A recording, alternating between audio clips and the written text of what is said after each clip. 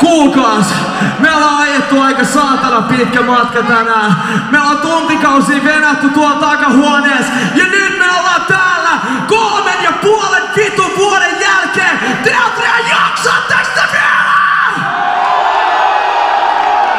Jos mä sanon, että pyöritätte tukkaa, pystyyks Oulu sellaiseen? You got one more goddamn chance. Let's try this shit out. Oulu, ootteks te valmiita? You better fucking be. What the fuck?